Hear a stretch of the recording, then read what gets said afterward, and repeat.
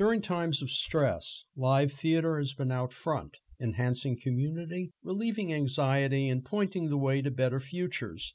Now, of course, audiences are sitting in their homes, and theaters around the world are shuttered.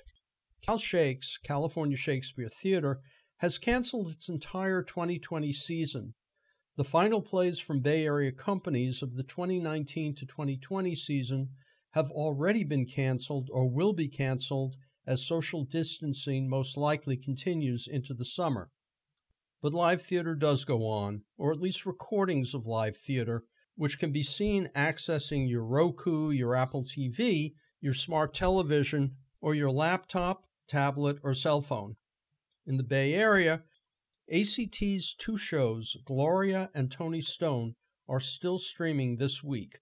Tickets can be purchased through late in the day, April 3rd, and streaming ends on April 5th. Go to act-sf.org for more information. Magic Theater is offering a daily mini podcast with various playwrights through SoundCloud. Go to magictheatre.org. Shotgun in Berkeley is planning a series of podcasts of plays and artist interviews. For more information, you can go to shotgunplayers.org.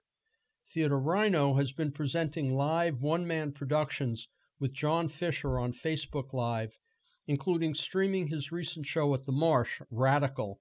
For more information on what's available through Rhino, go to therhino.org. Moving outside the Bay Area, London's National Theatre is streaming free, one play each week, all week, starting this Thursday with One Man, Two Guvnors, starring James Corden, followed on subsequent Thursdays by Jane Eyre and Treasure Island with Twelfth Night beginning April 23rd. You can find those plays on the National Theatre YouTube channel. Terrence McNally, one of the first casualties of COVID 19, is being honored by LA Theatre Works with an audio only recording of Lips Together, Teeth Apart at latw.org. A 2018 documentary on the famed playwright called Every Act of Life is available at Amazon Prime, which also has film versions of The Ritz and Frankie and Johnny and a documentary on his play Corpus Christi.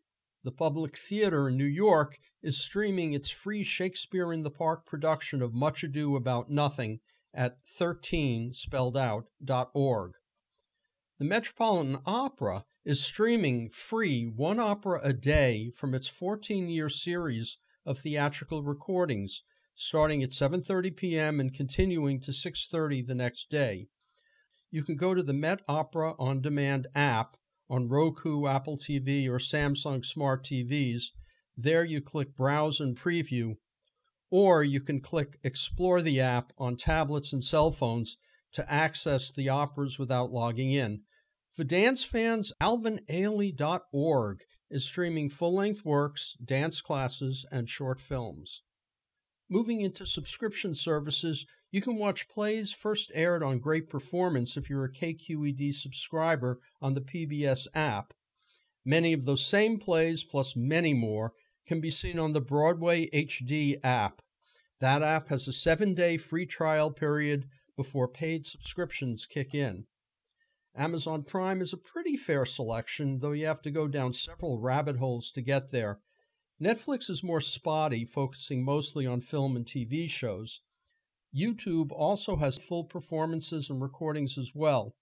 For now, we all have to live day to day and keep our fingers crossed that we will have live theater back on the boards in the late summer and fall. I'm Richard Wolinsky on theater for KPFA.